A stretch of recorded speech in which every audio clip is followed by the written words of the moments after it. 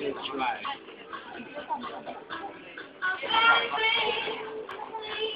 Agay. a guy. Brilliant.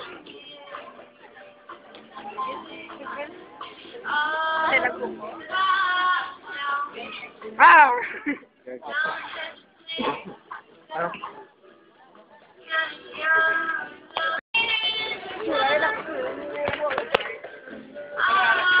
Ang tawag niya ito, may papablo. Ganun, ablo, ablo.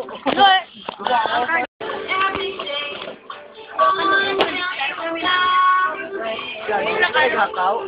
Nakal na, ako yung nag-hack. Yan.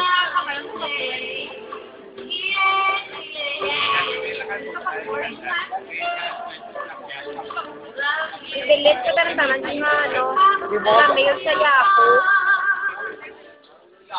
Tapos, i-forgot password ko. Baka doon yung